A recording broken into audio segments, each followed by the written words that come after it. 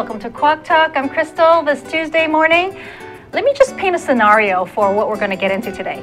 So, you and your husband kind of maybe haven't had sex for a little while, and you're in the mood, and things are right this time. Things are right. And you've got the lights dimmed, you're romantic, you've got the nice new lingerie on, and you're hot and heavy and getting into it, and you're like really busting out, and you can't stop, but! The door opens and your two-year-old comes in and goes, Mom, I can't sleep. What do you do? Gosh, are we going to talk about parenting and sex? So welcome us. Welcome, welcome. Join us right now. I've got the brilliant Dr. Allana God. Coffee here. Hi, Allana. Thank you for coming. Sure. So, from the Hawaii Psychology Collective, I know you have a group of fantastic and talented therapists. Thank but you. what is your specialty, and why? Why do you think this Right, topic is so relevant? Um, my specialty started out with children, and then um, I sort of progressed into working with parents um, and doing family and couples work. And I would say that's probably mm, 60% of the work that I do is a whole family in some configuration. And this is a big topic that the parents come in with. I mean, they are. Um, excuse me, somewhat neglecting that part of their lives. So they come in and um, and talk about it in therapy. So They come together? relevant. No, sometimes they come one at a time, and I'm like, you need to get the other half in here.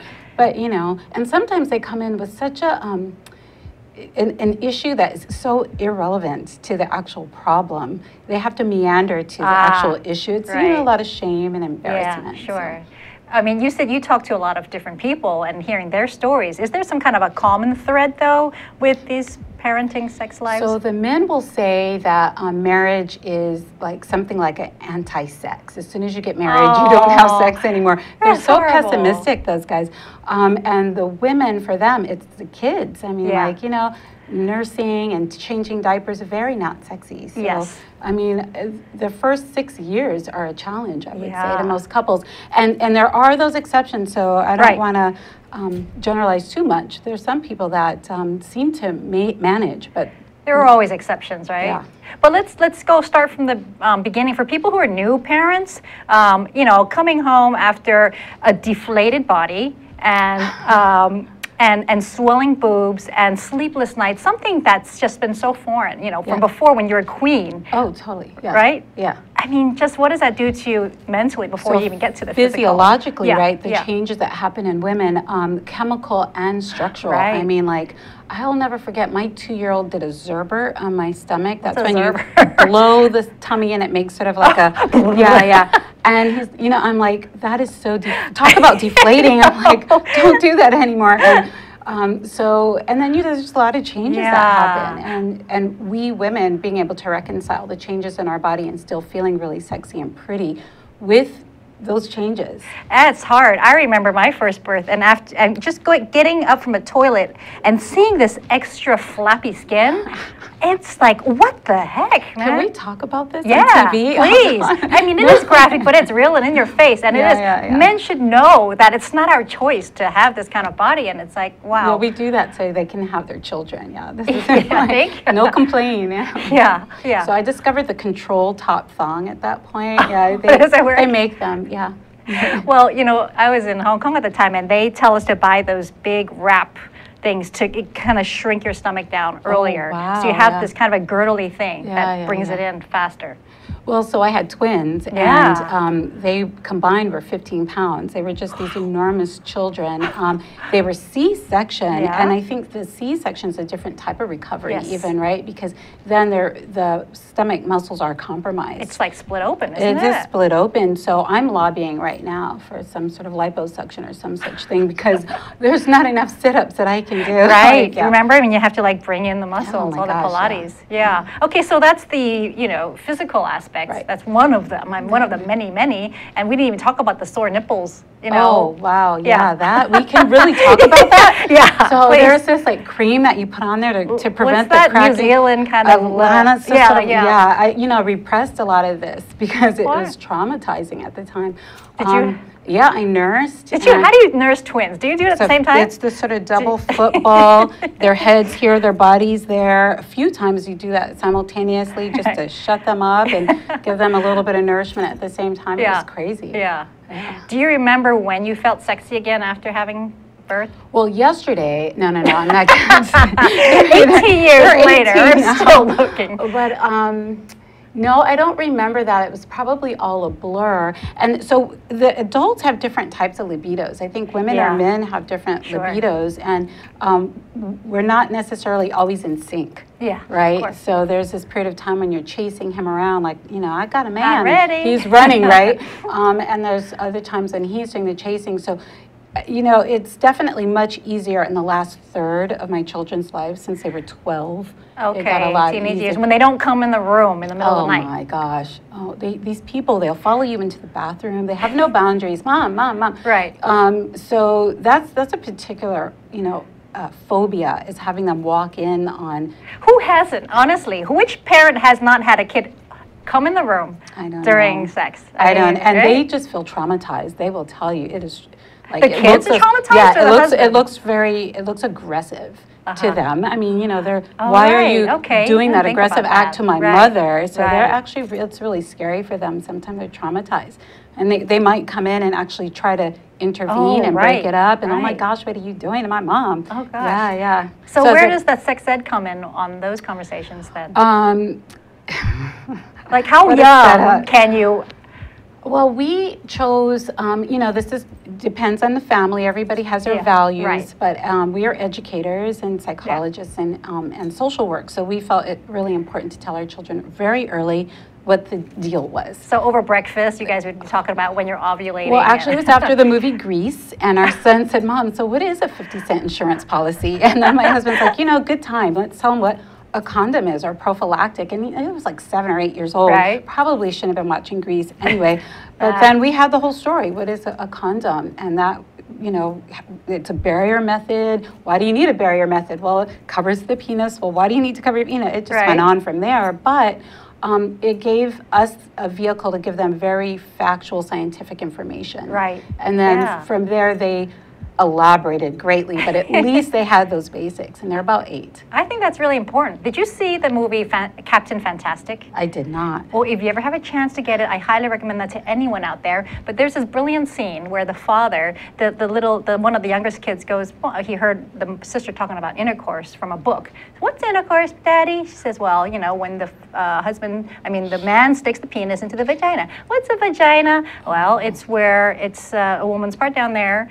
Um, I don't know what he said, but then she says, Isn't that where you pee? She says, Well, that's the urethra, it's right next to it. So he's really adamant on Yes. giving it on, out, all out. Right, yeah. Where the sister was appalled by this conversation. Oh, my children were appalled too. They're like, "That's disgusting. I'm never going to do that." Right, I mean, right, they were just normal, like, "Ew, right? mom, I can't believe that." Yeah. Yeah, you can't even talk about it. We can't talk about it. Even till today, actually, they'll cringe. If I like wink at my husband, they're like, "Oh my God, don't do that." You know? Yeah. well, okay, that's another thing though. How you show affection in front of kids. Right, right, That will greatly um, influence how they will uh, interact with their partners, right? Um, so we try to just be very respectful and nonviolent to each other. Yeah. So you know, there's definitely. Um, I think I'm probably more physical than than Jerry. So you know, I will show uh, my affection very physically and. Um, and that's to just about anyone. I'm Yeah. you know, typically hugging and kissing people Right. in within vicinity. Um, wait till after the show, but I'm just saying, you know, we're very tactile as a family. Yeah, well, how so- come you didn't hug me in the elevator? I didn't know who you were. but as soon as I knew, I'm like, Okay.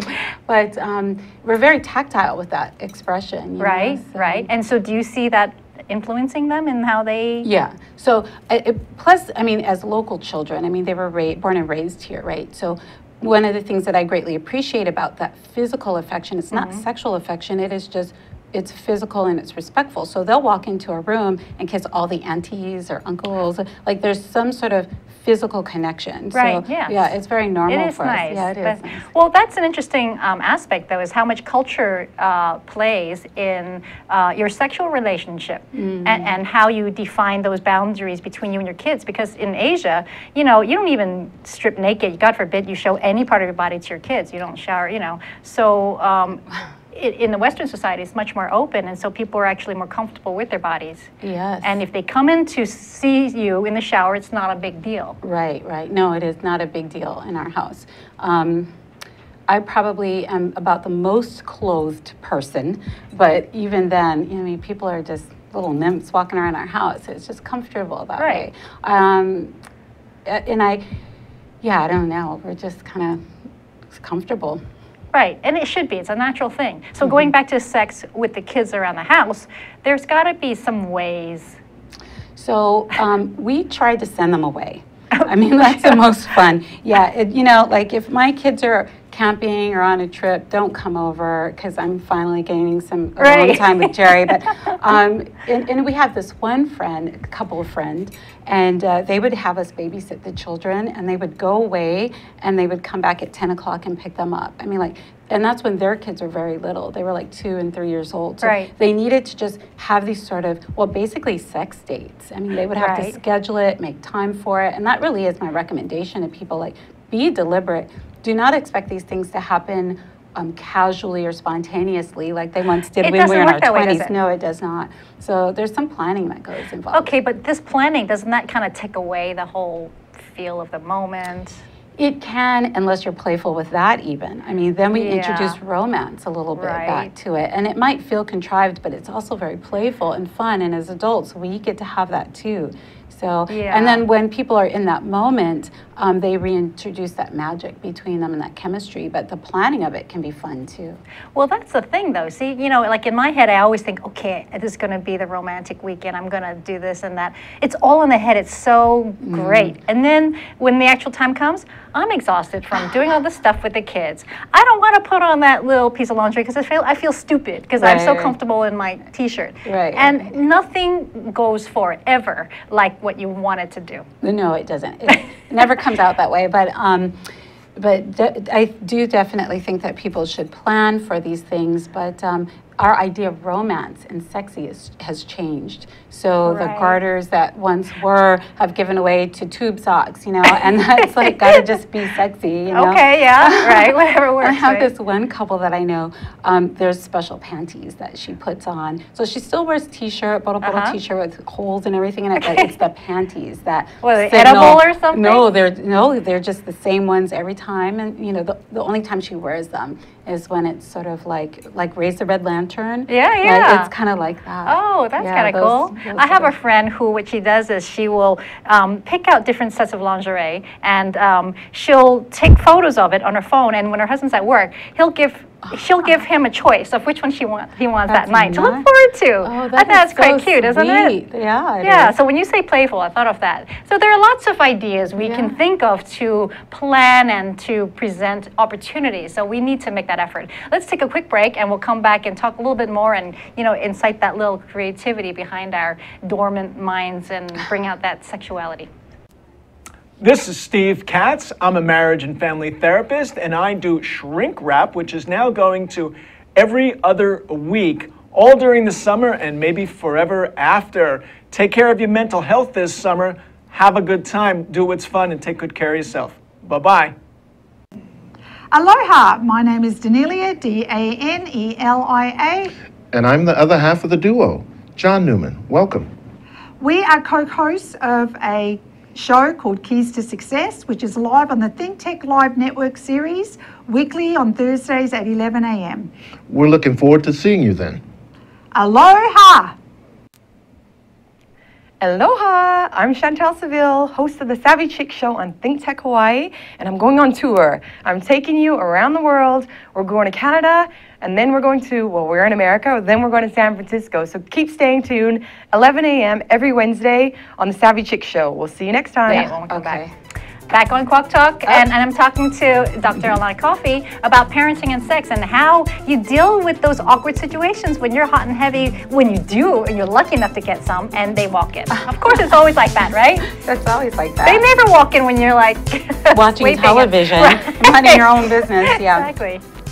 So I was thinking of one um, occasion where I was, uh, well, suggesting some things to my mate and um, trying to explain to him why it would be a really good idea if he gave in. And um, I was no longer visual to the child that came into the room Okay. that stood there and began to have a conversation with said father about some such thing. And so I had to just be very, very still until this child went away. And we're at like Portuguese and chocolate, so we're very talky. Right. It kind of took a long time. I'm like, Right. shut that kid up and send him on the hell outta Yeah, here. yeah, yeah, exactly. So, you know, little things like that. And there must be some funny little moments, right? I mean, you, when you have to all of a sudden hold in like- your breath, and Just hold on, be still. like, yeah. but then it's hard to continue afterwards too when you have that break, right? Depends on where you are in the situation. depends, it depends. And, and I think, you know, some of the um, couples, I ask them, like, what's a normal frequency? And Right. this, this Oh, differs a depressing question. generationally. Well, I think, so the older generation, like maybe our parents, you know, who are in their 60s, 70s, for them, um, they weren't really confused about this. They felt like there were boundaries between parents and kids, and the kids stayed, did not come in their room, Right. or they knocked before coming in their room. Yeah. And it was, you know, the the couple centric, and the children followed the couple. Right. But then my generation came about, and we like doors. turned it upside down, and Yeah. it's child centered, Right. and children first, and we don't matter. And I think that trend had gone too far. It, Yeah, it's actually maybe so. kind of damaged some relationships where we're so involved in what's happening with the children, we forget our mate. Oh, big time. Yeah, so coming, you know, that pendulum swinging back to center is actually really good. So you have to, you suggest creating boundaries and, and really sticking to it and not letting, you know, your 10 year old sleep in your bed still. I mean, Oh, wow, 13 years old. Really? Even, yeah, it's really something. And I actually kind of got into a little bit of a debate with that mom, and it was like, um, that's just the way I'm doing it. And I'm like, whoa, um, when you think developmentally what's happening with a child Right. that's 10 to 12, 13, and this was a male child, um, you know, that's not good for either development. Right. Yeah, yeah. I don't know if you can think back or remember when you were a kid. Did you ever walk into your parents, or did you ever have that situation where you knew something was going on? So I walked in on my girlfriend's parents. What? Yeah, and we were just, and she and I were do do do do do, and I was like, and I, you know, I'm curious. That's why I'm a psychologist. I'm Right. like, what's happening here? By the time I actually, Wait, how old were you? I was about five. Oh, that yeah, young. I was okay. very young. So. Um, I just what it, but what I saw it looked very loving. It Uh-huh. wasn't scary or anything, okay. and I wasn't like edged out or anything. I was just like, oh, that's interesting. So Was I it just- all out in the open, like they were naked yeah, pretty and much. it was not under the sheets? Pretty much. Okay. Yeah. Went blind for a couple hours. No, no, no. But, Like, ah, too much yeah, info. Yeah, but um, I just, I was not, um, it was not gross to me. I remember just thinking, oh, that's interesting. Yeah. But that's interesting that you remember that so Oh, yeah. vividly. Oh, very vividly, yeah. And did you go home and tell your mom? No, oh. that I knew it was taboo. And because I didn't want my friend to be scolded or that her parents would be scolded. So I knew that, like, we know that there's certain levels of taboo, and I knew that I should not tell what I saw. Right. But it's interesting when a kid does know what's going on next door, is what goes through their head, and do you even follow on that conversation? So we painted our bedroom doors red. Absolutely. There's a lot of humor in our house, you know, a lot of humor. So it's like these doors are closed for a reason, which, you know, they're mostly always open to them. So we don't have the kind of bedroom that you can't just come in unless those doors are closed. Ah, and they're it's like putting the tie on the door. yeah, it is. room, And, right? it's because I have sons, I think they um, are actually really respectful of that space because they are just grossed out by it. Like, we don't want like, to "Moms know. don't have yeah, sex." Yeah, yeah, yeah. yeah. right. So. Well, but you know, just in different phases too. I mean, are there developmental phases where parents have to reassess how they kind of keep, you know, obviously the older you are, the fire kind of dims out after Yeah. a while, after Yeah, you've yeah. been married. How do you keep that going even if they're not coming in the room? That's not your excuse anymore, Right, you know? right. Um, having a really good relationship with your partner actually matters because what happens later on, let's talk about men for a minute. Okay. Um, we used to think that they would have sex no matter what, under what condition, they would just go for it. And that's not necessarily so. They um, get hurt, they get discouraged, they get tired. There's a lot of pressure on adults to, I don't know, pay the rent, the mortgage, Yeah, do this, sure. that. So because they have so much external pressure, um, when they come home or when we're with each other, the more respectful and loving it can be, the better. But Mm. um, but when the men are tired or angry or upset, Yeah. they actually withhold sex in a way that's really surprising to women. women are used to being able to get at that. And so uh, maintaining a healthy relationship is actually really good for sex life. So, in that kind of situation, do you suggest the women to be a little more proactive in softening those edges, or to just let it, you know, pan out? Com- combination, sometimes they need space, but um, we can be very demanding in our tasks. Because when we are threatened or insecure or, you know, we have the same pressures like, you know, where's the money, where's the security, Yeah, where's this, why didn't sure. you do your share of the chores? So we tend to press, press, press, press. Yeah, yeah. And then they withdraw, withdraw, and then that stops happening. And then this And in the intimacy- bedroom, yep, it transfers yeah, over. it goes. Yeah, it goes down. So, um, you know, I never thought I would be saying this, but to a certain extent, we females can. We should soften a little bit.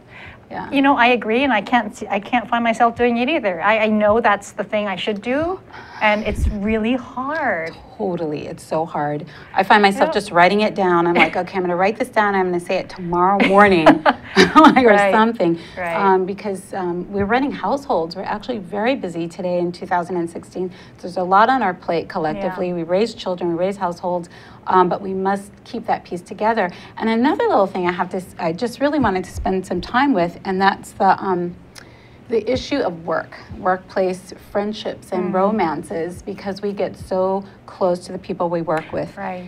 And um, to be cautious of those kinds of relationships because Huh. our work is such a strong part of our identity and our narrative and our personality. And sometimes we're really vibing with a person at work Right. psychologically. Just kind of beware of that. Huh. Yeah, I kind of know where you're going with that.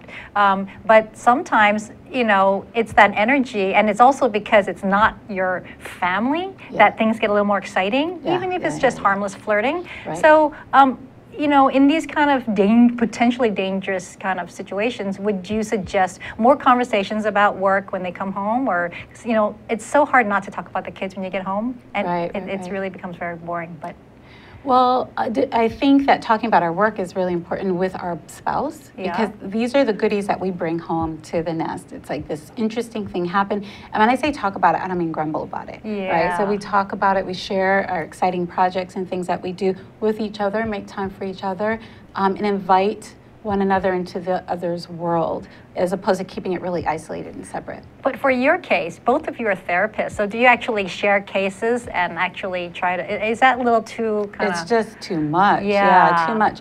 There are cases that we share, so we'll get consent. Even then, even though we're who we are, we still get consent from our people to talk about it. But Right. what we will do is we ask for advice. You know, like if this is a situation, what would you do? And I'm typically really surprised by my husband because what he says to do for his clients is not necessarily what either of us do at home. You know, we're Ah. still human beings and Right. we do all the things we tell you not to do as our clients. We're like, please don't do that.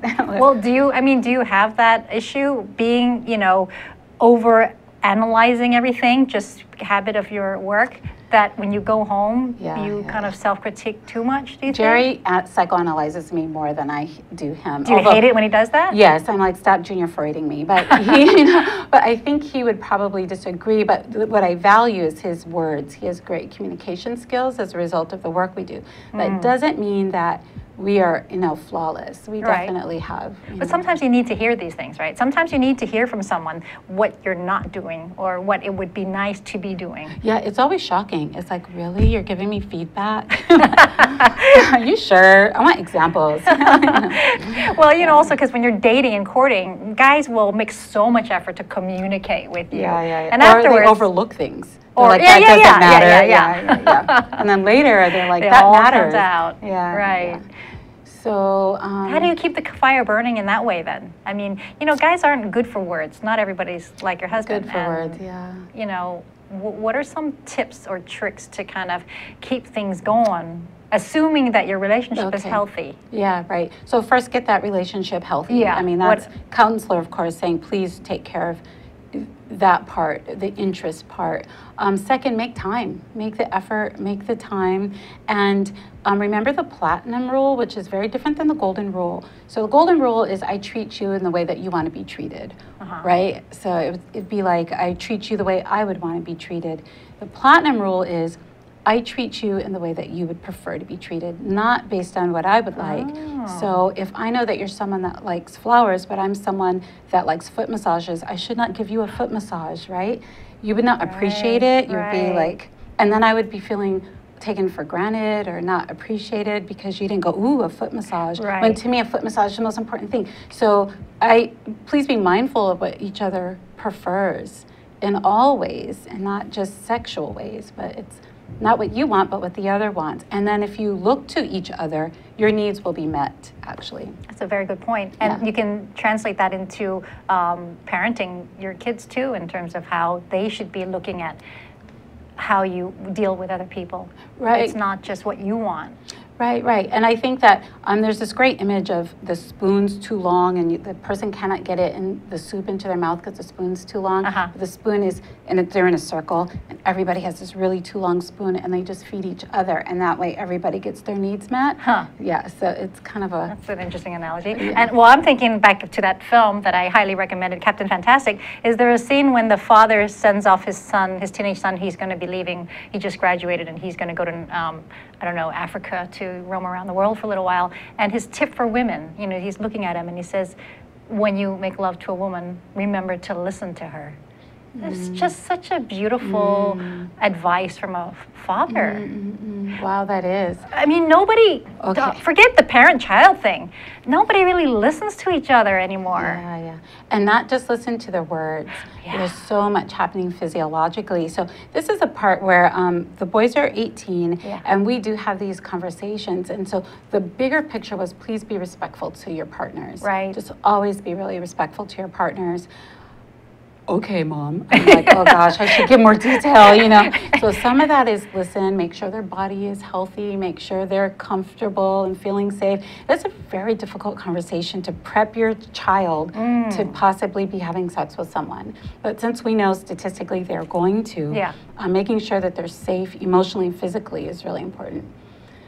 wow. So there's never too, well, I guess there's a time when you know it's right to have that conversation, Yeah. but a very important one. And then they come and go, so what about this? And they want to Yeah. give you these details. I'm like, that's the time and just like, go ask your father. Yeah. yeah. Give them I you use that do. line. Go ask your yeah, dad. yeah. I love it though, but that's why you balance everything with, with a healthy couple. Allana, I mean, there are so many things we could talk about, but I'm really glad we opened up a lot of great tips and issues about parenting. But I want to talk about the Raise the Roof. Now, that's coming up. It has nothing to do with having sex, but you can have sex after the show. But tell us a little bit about this. Okay, so Raise the Roof is the Arts at Mark's Garage. It's their 15th year um, of providing space in downtown Honolulu for visual artists, performance artists. It is an amazing jewel downtown, and this is their biggest funds, fundraiser they've ever had. And it's going to be on the roof of downtown Honolulu, which is also very gorgeous. It's a Saturday night, November 19th, um, and the tickets are all included food, music. Um, we've got some great speakers. Um, Enos is coming, um, and Tamane. Do you know Tamane? No, That- I oh my gosh, she's so talented. Yeah? Okay. And she'll be there that night. I mean, we just have some really great talent. That's great. Art will be for sale, and um, it's one of my pet projects, which is another thing that happens for couples. Is when Ah. we get established and those kids are kind of raised already, Yes. we all start taking um, more activity in the community. Right. And being part of that community and bringing that energy and, Yes. And all of that enthusiasm back home. So this Absolutely. is one of my pet projects. right Well, now. good luck. Yeah, That's congratulations you. on that. And that healthy energy translates to your energy here and probably into you. the bedroom. So again, remember, remember, enjoy your partner. Be nice to them and and enjoy sex. And forget about the kids. They'll grow up and get out of there eventually.